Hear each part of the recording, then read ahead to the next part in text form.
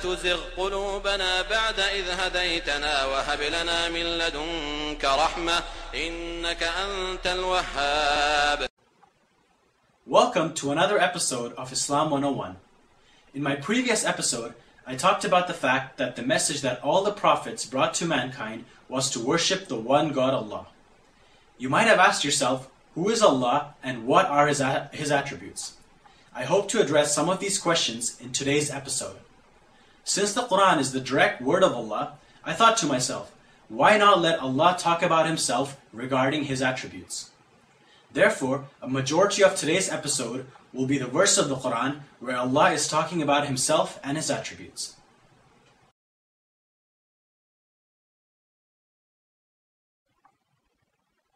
The word Allah is God translated in Arabic. The word Allah is not only used by the Muslims, but is also used by the Christian and Jewish Arabs. In fact, the word Allah can be found in multiple places in the Arabic Bible. Though the word Allah means God in Arabic, it has certain advantages over its English counterpart. In English, God is subject to plurality, for example, God and gods, and is also subject to gender, for example, God and goddess. But Allah in Arabic is neither subject to plurality or gender. Allah is the personal name of God, and we do not use it for anything else. But this is not the only name of Allah. The following verse addresses this issue further. والله الذي لا إله إلا هو عالم الغيب والشهادة هو الرحمن الرحيم هو الله الذي لا إله إلا هو الملك القدوس السلام المؤمن المهيمن العزيز الجبار المتكبر.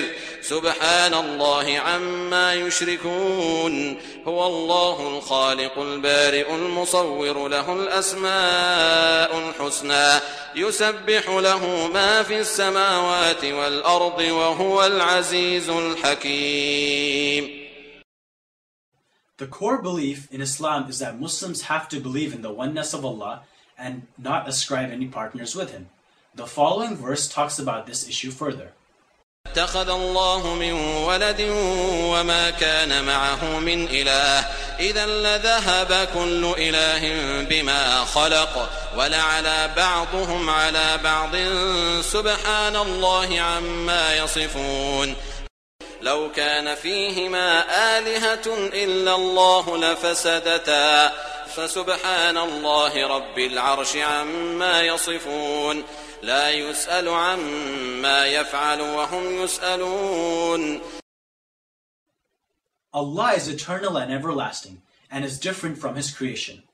Therefore, Islam completely rejects any depiction of Allah or characterizing Him in any human form. The following verse talks about this issue further. قال أتعبدون ما تنحتون والله خلقكم وما تعملون Muslims are not supposed to pray to anyone except Allah. When we repent, we repent to Allah only, as He is the one who forgives us. Allah forgives any sin except those who die disbelieving in Allah. The concept that God rested on the seventh day of creation, or that God fought with one of his soldiers, or that God is an envious plotter against mankind, or even that God is incarnate in any human being is blasphemous from an Islamic point of view. Allah is in complete control of our affairs. This does not negate free will, but in fact it implies that since Allah is the most knowledgeable, He knows from beforehand the choices we will make. The Prophet, peace be upon him, further emphasized this when he said that if the whole of mankind gathered to harm you, they would not be able to harm you except with what Allah had already written for you. And if the whole of mankind gathered to help you, they would not be able to help you except with what Allah had already written for you. Let me end with the following two verses of the Quran, which emphasize Allah and His attributes further. الله لا إله إلا هو الحي القيوم لا تأخذه سنة ولا نوم. له ما في السماوات وما في الأرض من ذا الذي يشفع عنده إلا بإذنه. يعلم ما بين أيديهم وما خلفهم ولا يحيطون بشيء من علمه إلا بما شاء. وسع كرسيه السماوات والأرض ولا يؤوده حفظهما وهو العلي العظيم. قل هو الله أحد الله الصمد لم يلد ولم يولد ولم يكن له كفوا أحد.